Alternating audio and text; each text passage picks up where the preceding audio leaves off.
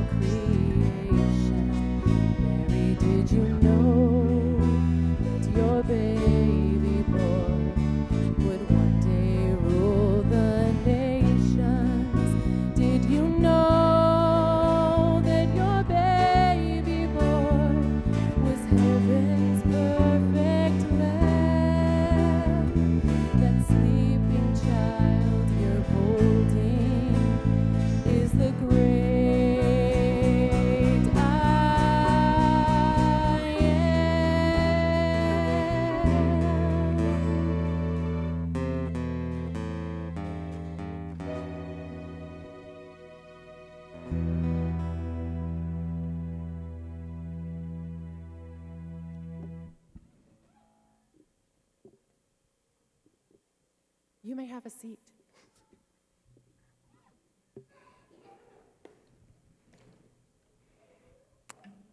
Who's excited about Christmas tomorrow? It, yes, that's what I'm talking about. Ethan is pumped up about Christmas. Are you excited? No, he's just afraid. Well, he is excited about Christmas. And when we get excited about Christmas, um, I want you to think about this for a second. What is the one gift that you are most excited to give? Not get. The one, one, one gift that you're most excited to give.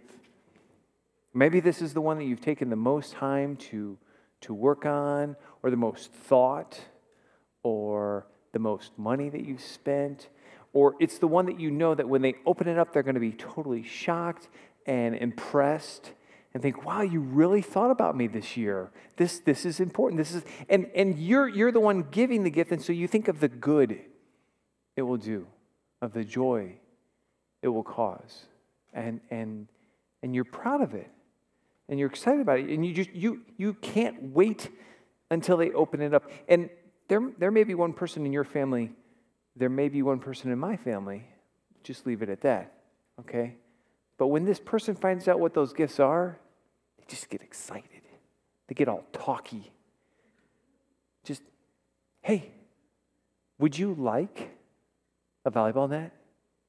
Shh you know, usually I'm just saying, you know, like, like if, if we, not that we did get you one, but you know, if we did, you know, would would you be excited? But whoever that person is, I love them very much. So, but, so, so you have the secrets and you got to keep the secrets down. Like, this is the one gift, this is the one we're going to open at the end. And you have that gift that you're excited to give. And, and I want to go back, go back 2,000 years. Back 2,000 years. And God is in, in, in his throne room and Jesus is there, and he's excited. I, I think God would be excited. I, I don't know. This isn't recorded in the Bible what it would have been like, but I can only imagine that God would be like, Today is the day, Jesus. I am so, I think God would say this, I'm so pumped up. Are you pumped up? Yeah, we're going to save the world. Literally, we're going to save the world with you. You can, and he's, he's so excited about Jesus going in the world, and he, and he looks at his son. And, and this one's in the Bible. I'm so proud of you. That's after he gets baptized in the Jordan River and, and the dove comes out, and then, then God just can't contain himself. He's like, That's my son. I love him. I'm so proud of him. That's in the Bible.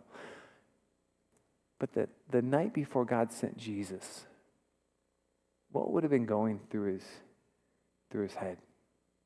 The excitement of giving that gift, of God knowing the, the good that that gift would do, of the joy that gift would bring. I, I would imagine if, if I was to think of the, the emotions God could be thinking about his son, I would think he'd be very excited and, and, and, and anticipating, yes, I'm so excited. You're going to bring my people back to me, back into a relationship with me. This is so good. But at the same time, I think it would be bittersweet. I think it would be bittersweet. We'll get to that here in a second. We've been talking about Isaiah chapter 9. If you have a Bible, you can turn there. Isaiah chapter 9. We've talked about this verse last couple weeks. Um, I, I, think it's important. I want to look at one, one aspect of it tonight. Isaiah 9, uh, verse 6. Isaiah is, a, is an Old Testament prophet, so he's a, he's a spokesperson for God's people, to God's people. He's a spokesperson for God, to God's people. And his people weren't doing well. So we got the southern two tribes, Judah and Benjamin, and um, they act like they have a faith, uh, that they have a right relationship with God, but it's not, it's not there. They're just faking it. They're just putting on the, the, the, the fake hypocrisy game. And so uh, Isaiah comes to, to tell them to get their act together and tell them that God is not pleased with them. And if they don't keep, uh, get their stuff together, God is going to continue to punish them with, with Assyria. And so, Isaiah chapter 9, uh, Isaiah is, is foretelling to them, prophesying to them one of the best things that will ever come. Isaiah chapter 9, verse 6. For to us a child is born, to us a son is given, and the government will be on his shoulders, and he will be called Wonderful Counselor, Mighty God, Everlasting Father, Prince of Peace. Of the greatness of his government and the peace, there will be no end. What I want to focus on tonight is there at the beginning in verse 6.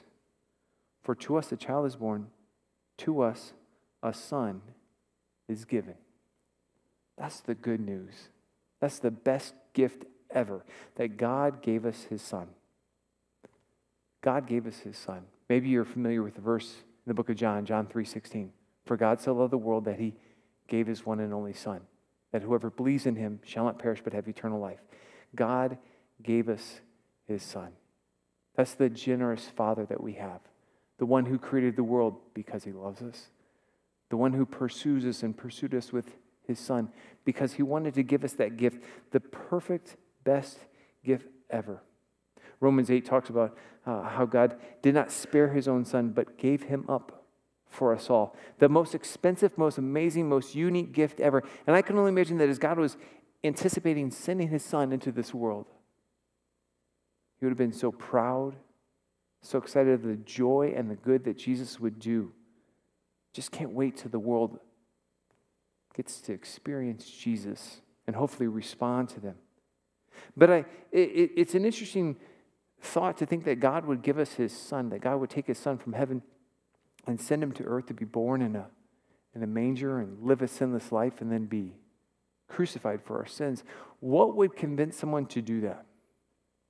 I would not, I would not give up my children. I, you, um, Papa Bear angry, angry, bald bear Mike is going to come out if you're going to cross my kids, right? I'm just saying this is how it's going to go down. And I can't imagine just, oh, you can take that one. I don't like that one that much. No, it's not going to happen, okay? It's not going to happen. But, but something drove God to give us his son. While we were still sinners, Christ died for us. God gave his, his son because he loves us. Because he loves us. He gave us his son because he loves us. Each and every one of us he loves you.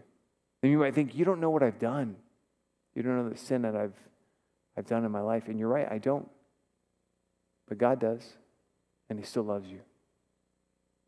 He loves each and every one of us. He knows what you're thinking about.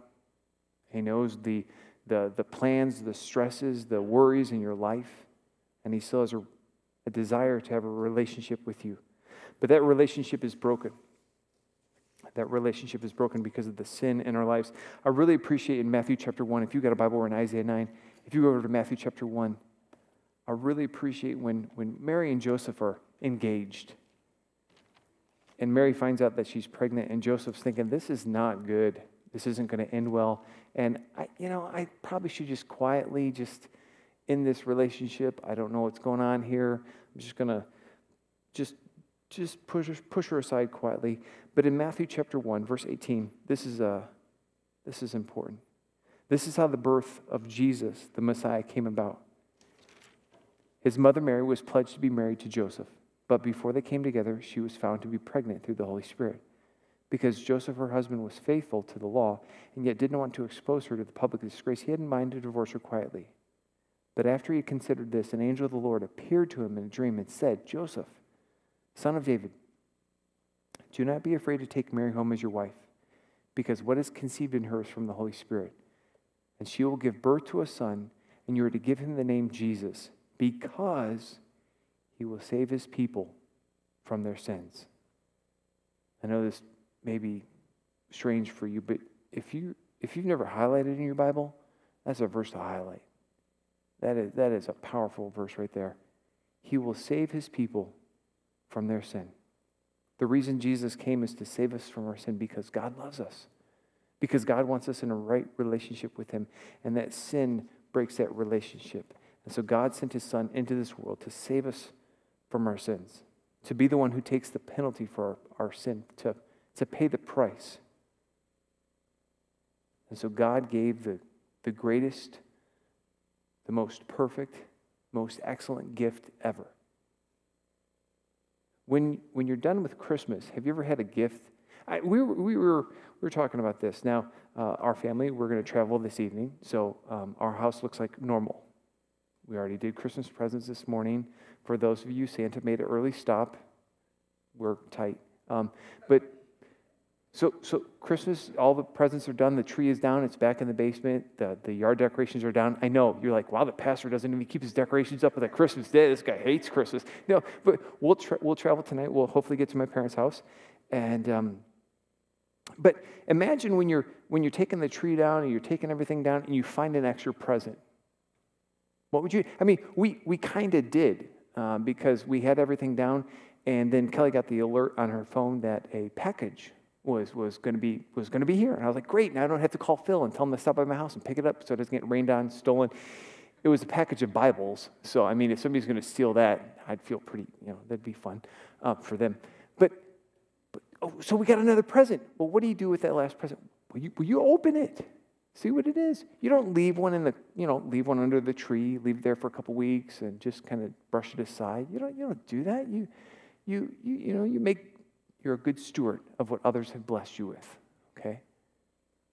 But I wonder with the gift of Jesus, some have just left him under the tree.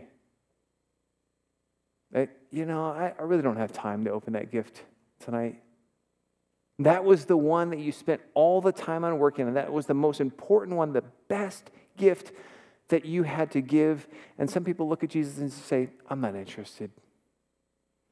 Or they, or they open the gift and they, and they look in the contents and they look at Jesus and they look at the life that he calls us to live and he looks, they look at the forgiveness he offers and they go, you know, it's not really for me.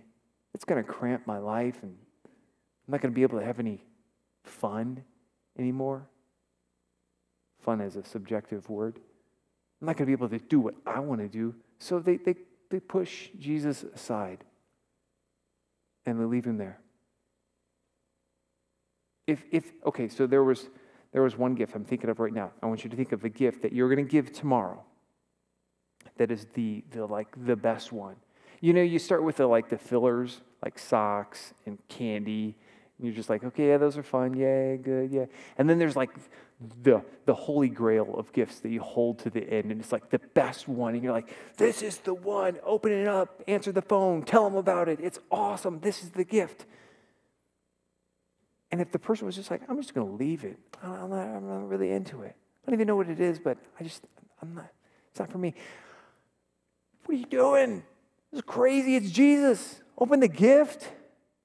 Get into that. And so I think of, I think of my Heavenly Father and how he, in my mind, he would have been so excited to send Jesus into this world and so proud of his son. And his son comes into the world and lives a perfect life and, and dies and, and fulfills Matthew 1 and, and, and, is here to save us from our sin. And people just say, ah, you know, I'm not interested. Earlier I said that would be bittersweet that night when God sent his son into the world. Because he would know, God would know the good his son could bring. He will bring it, but for some, they'll, they'll say, yeah, I'm not interested. And if I was God, that would break my heart. That would make me really disappointed. It's, it's salvation, it's freedom from sin. I'm not into that. Kind of like my sin. Sin will always take you further than you wanted to go, always cost you more than you wanted to pay, and keep you longer than you wanted to stay. It's always going to hurt you and hurt those around you. It's not going to work out well. So I pray that tonight, that as we think about the gift of Jesus, the best gift that, that God ever gave to us, I pray that you'll accept that gift. If you've never done that before, just accept that gift. The gift of God is Christ Jesus our Lord, eternal life. Eternal life found in Jesus Christ. Accept that gift. But for a lot of us, we, I don't know. I don't know the reason. And maybe you have a unique, a unique story. I, I, would, I would love to listen to your story and hear your heart. Why you don't have time for Jesus. And I would listen. I would. And you know what I'm going to say. I would encourage you to accept the gift of Jesus Christ. And if you have accepted that gift, I pray that you have. If you have accepted that gift, I want us this evening to reflect on that gift and just be overwhelmed. Just be overwhelmed with that gift. It's fun when we give gifts. I think a lot of times it's just trading. It's just trading. Oh, you got me the obligatory gift card? well, don't worry, I got you the obligatory gift card too. And we, we just swap it back and forth, and you're like, exact money changed. Perfect. Got that one spot on. And it, it you know, I've heard about these, um, these pay it forwards when you go to the, the like the drive through line and you get your stuff and then you pay for the guy behind you. And then the guy behind you is like, oh, hey, you bought my coffee? Awesome. I'll pay for the car behind me. And they're like, yeah, it's a family of seven. And you're like, what? Oh, come on. But then you, out of obligation, you're like, okay, what's it, 85 bucks? 85 bucks? What did they order? And you pay 85 bucks. But, but maybe we need to stop and just, just accept the gift. Accept the gift. Take the gift. Open the gift.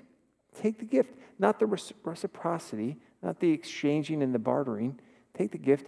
And then when we look at our Heavenly Father, we look at the gift that He has given to us. I can't pay Him back. I can't do it. I can't even try. I, I look at the gift that I received, the gift of Jesus Christ. That's amazing. I, I, I can't work that off. The debt that's been erased, the sin debt, the, the wages of sin that I owe, the, the, the, the crimes that I've committed. You're like, wait, your, your preacher's a criminal? The sin, okay, those are, those are crimes in God's book that I've committed, that you've committed, and God erased it. I owe a ton. And so the, beauty of the gospel is that he doesn't expect us to pay it back. He doesn't expect us to do hard manual labor in the church nursery to pay back our salvation. He doesn't expect that of us. But out of a, an overwhelmed heart of gratitude, I want to give my life back to my Heavenly Father. I want to give my life back to Him. Not because He, he, oh, you owe me. He could, but he doesn't. And so I turn around and I live a life of thank you. I live a life that says, I want to give you my life back. I want to, I want to give you everything I have back to you because I accepted the gift. I see the gift. I see the value of the gift. And I'm overwhelmed with the, the appreciation that I have for that gift. So I'll give you my life back out of the, the great joy because of the good news that those angels brought. That's why I give my life back to the Lord. God, we thank you so much for your son.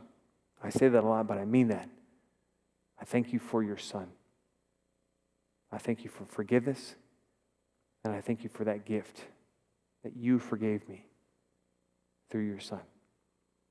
God, I pray that I can live my life as a thank you to the cross that started in the manger some 2,000 years ago. In the name of Jesus, we pray. Amen. This evening, we'll have an opportunity right now uh, to celebrate communion as a family. I hope that you picked up the communion supplies on the way in. And so, as you take communion this evening with your family, um, as you take the bread and the juice, I want you to reflect on the fact that God gave you His Son, His perfect Son, because He loves you, because He loves each and every one of us. But that relationship was broken because of our sin. And it's only through the life of Jesus Christ that we could be back into that right relationship. And so just be overwhelmed with that gift. Just appreciate God. Talk to Him tonight. Thank Him for that gift. And then confess your sins and know that He's faithful and just and He will forgive you. So let's celebrate communion together as a family.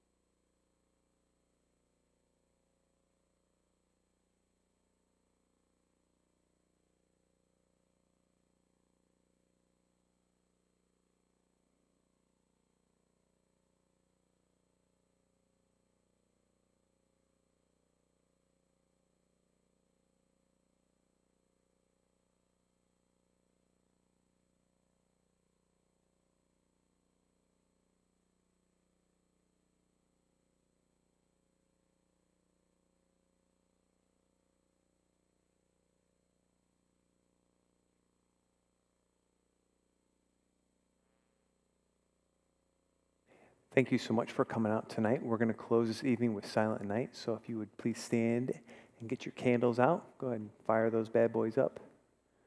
They're battery powered, so no one will be injured.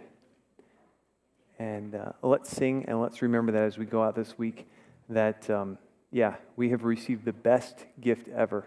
And so let that gift shine to the world.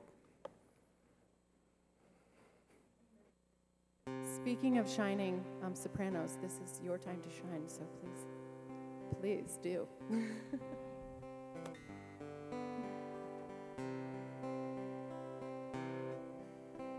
Silent